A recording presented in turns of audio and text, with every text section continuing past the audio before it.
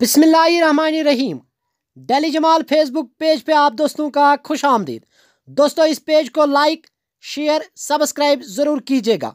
दोस्तों, ULB DDC panchayat election के हवाले से अगर बात करें तो ज़िला कुलगाम में आज मुख्तलिफ़ सियासी जमातों से वाबस्ता लीडरान अपने अपने हल्का जात में गए और लोगों से बात की।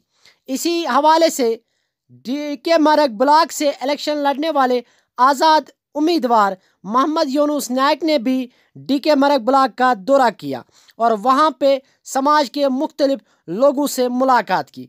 उन्होंने नौजवानों पर ज़ोर दिया कि आप मुझे सपोर्ट कीजिए, मैं आपके मसले हल कर दूँगा। मज़ीद सुनते हैं इस प्रेस बाइट में। तो आपको बताइए फिर भी मैं अपना तारफ़ करवाता हूँ। मेरा नाम यूनुस नायक है और मैं डी कैंडिडेट के लिए जो है, जो डी के मेरा कॉन्स्टिट्यूंसी है, इसके लिए खड़ा हुआ हूँ। एक्चुअली मेरा जो ब्लॉक है, वो मजगाम ब्लॉक है। वहाँ पे एस टी वुमेंस के लिए रिज़र्व सीट रखी गई थी, इस वजह से मुझे दूसरे ब्लॉक में इलेक्शन लड़ने के लिए आना पड़ा।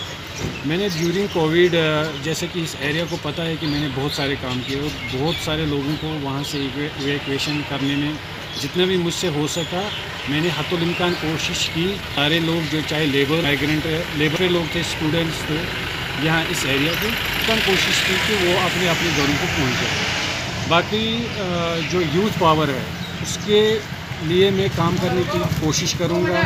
साथ में जो यहाँ पे अनएम्प्लॉयड यूथ मेरा ये कहना है कि मैं इस एरिया के लिए जिस घर से अभी तक कोई भी एम्प्लॉय पैदा नहीं हुआ, जिस घर से एम्प्लॉय मतलब अभी तक नहीं दिया गया, उसके लिए मैं लड़ूँगा कि उस घर को कम से कम उसको एम्प्लॉय होना चाहिए जिसमें अभी तक कोई भी एम्प्लॉय नहीं हुआ। बाकी बीपीएल है अंतदया है, जिनको जो डिज़र्व करते हैं, राशन कार्ड की दिक्कतें यहाँ पे है, ये इस एरिया में इलेक्ट्रिसिटी की प्रॉब्लम है वाटर सप्लाई की प्रॉब्लम है तो उस चीज़ को हम ठीक करने के लिए हम इस मैदान में उतरे हैं। तो हम ख़ास तौर पर यूथ यहाँ के इस डी के के जो यूथ है, उनसे हम, मैं अपनी तरफ़ से रिक्वेस्ट करता हूँ कि आप, चाहे अगर आप, आपको मुझे, मैं अच्छा लगता हूँ तो आप तभी मुझे वोट दीजिए जब आपको लगेगा कि मैं ठीक हूँ। मैंने इस नूराबाद ख़ास तौर पर कस्बे खुल और का ये जो डी के मरक कॉन्स्टिट्यूंसी है डी के मरक ब्लॉक है, इसके लिए अगर मैंने कुछ काम किया है जूरिंग कोविड या दूसरे तरीके से जो बाहर फंसे हुए लोग थे, उनके लिए अगर मैंने काम किया हो तो तभी मुझे वोट दीजिए। बाकी मुझे, मैं पॉलिटिक्स करने के लिए नहीं आया हूँ, न मैं किसी पॉलिटिकल पार्टी के बारे में कुछ बोलना चाहता हूँ। उन्होंने क्या किया और उनको क्या करना है, वो उनका अपना मद्दा और मकसद है।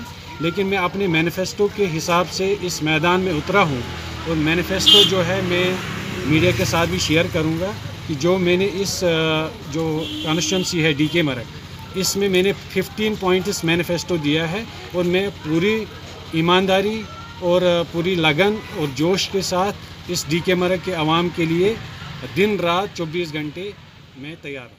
शुक्रिया।